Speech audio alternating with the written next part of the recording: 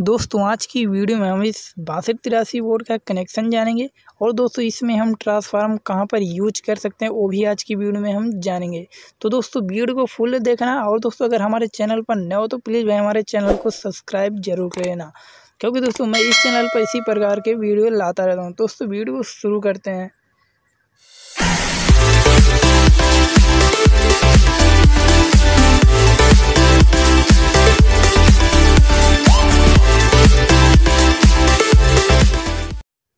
तो दोस्तों, सबसे पहले आप लोगों को सर्किट में देखना है कि दोस्तों, इसमें सबसे बड़ा कैपेसिटर कौन है? तो दोस्तों, ये सब एकदम आसान तरीका है।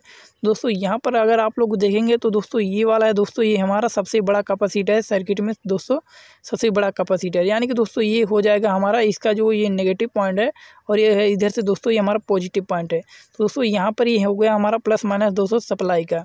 यानी कि दोस्तों, इस कैपेसिटर के नेगेटिव पॉइंट में हमें माइनस देना और दोस्तों, इसके जो प्लस वाला पॉइंट है, हमें प्लस देना है। दोस्तों, यहाँ पर ये हो गया दोस्तों, हमारा सप्लाई का। उसके बाद दोस्तों, यहाँ पर उससे छोटा दोस्तों, जो कैपेसिटर है दोस्तों, यहाँ पर ये वाला है दोस्तों, उससे छोटा है थोड़ा सा, दोस्तों, एकदम छोटा वाला नहीं।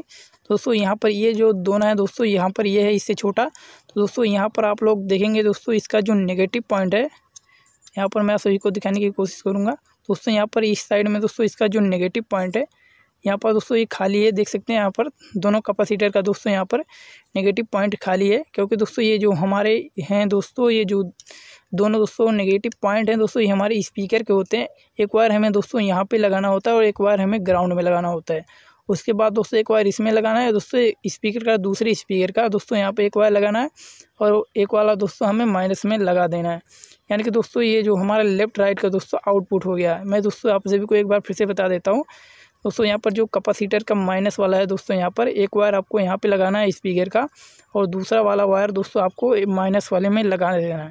दोस्तों, यहाँ पर एक चैनल का हो गया। उसके बाद दोस्तों, जो दूसरा वाला कैपेसिटर है, उसका भी दोस्तों, यहाँ पर जो माइनस वाला लेग खाली एक यहाँ पर लगा देना है। और दूसरा दोस्तों, आप सभी को माइनस में लगा देना है। तो दोस्तों, यहाँ पर स्पीकर का भी कनेक्शन हो जाएगा। उसके बाद दोस्तों, आप सभी को ऑडियो इनका कनेक्शन बता देते हैं। तो दोस्तों, यहाँ पर आप सभी को यहाँ पर कुछ इस तरीके रजिस्टेंट दिखाई देंगे। तो दोस्तों, यहाँ पर आप लोग देखेंगे जो रजिस्टेंट का इधर से देखेंगे। यहाँ पर तो दोस्तों, यहाँ पर ये रजिस्टेंट आया है यहाँ से और यहाँ पे दोस्तों, इसका जो पॉइंट है खाली है। इसका मतलब दोस्तों, ये वाला जो पॉइंट है हमारा आईडियो इनका हो गया। दोस्तों, एक चैनल का हमारा ये वाला हो गया।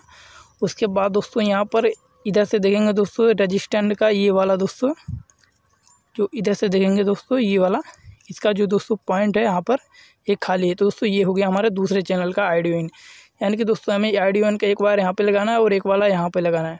और जो दोस्तों ग्राउंड वाला है, यहाँ पे सिंपली हमें ग्राउंड में चाहे जहाँ पे लगा सकते हैं। दोस्तों कनेक्शन कुछ इस तरीके से एकदम दोस्तों इसका जो कनेक्शन बहुत ही ईजी है।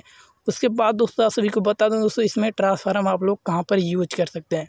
तो दोस्तों, यहाँ पर एक, यहाँ पर जो दोस्तों डाइवोर्ड नज़र आएगा सभी को, दोस्तों, इसमें चार लगे होते हैं। पर दोस्तों, इसमें एक लगा है तो दोस्तों, एक डाइवोर्ड से भी दोस्तों वर्क करता है। तो उसका क्या होता है कि यहाँ पर हमें एक वायर लगाना होता है। कुछ इस तरीके से दोस्तों, जो ट्रांसफार्म में देखें, देखेंगे दोस्तों, वहाँ पर चार वायर होते हैं दोस्तों, छः, चार वायर होते हैं, पाँच वायर होते हैं। दोस्तों, जो बारह ज़ीरो बारह का होता है, दोस्तों, उसमें पाँच वायर होते हैं। और दोस्तों, अगर देखेंगे ज़ीरो बारह का होगा दोस्तों, उसमें चार वायर होंगे। दोस्तों, जो ज़ीरो बारह का होगा दोस्तों, क्या करना है आप सभी को?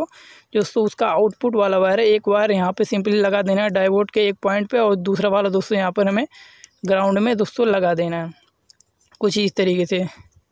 यहाँ पे दोस्तों, एक वायर हमें इस डाइवोट पे लगा देना है, और दूसरा वाला दोस्तों हमें ग्राउंड पे लगा देना है। सिंपली दोस्तों, और डायरेक्ट हम ट्रांसफार्म से दोस्तों यूज़ कर सकते हैं। अगर दोस्तों बारह ज़ीरो बारह है तो भी दोस्तों आप सभी को ज़ीरो बारह लेके यहाँ पे एक वायर लगा देना और एक वायर यहाँ पे और दोस्तों एसी वाला वायर डायरेक्ट हम एसी में लगा देंगे। दोस्तों इस तरीके से इसका कनेक्शन है। दोस्तों दोस्तों, आज की वीडियो में हम इसको टेस्टिंग करके नहीं दिखाने वाले हैं, क्योंकि दोस्तों हमारा जो आयरन है दोस्तों ख़राब हो चुका है। दोस्तों इस वीडियो में आपको टेस्टिंग करके नहीं दिखा सकते, इसके लिए सॉरी दोस्तों, लेकिन मैं दोस्तों अगर आप लोग कमेंट करेंगे, दोस्तों मैं इसके लिए एक टेस्टिंग वीडियो बना दूँगा। तो दोस्तों, वीडियो को यहीं पे एंड करते हैं। मिलते हैं नेक्स्ट वीडियो में। तब तक के लिए जय हिंद, ओके बाय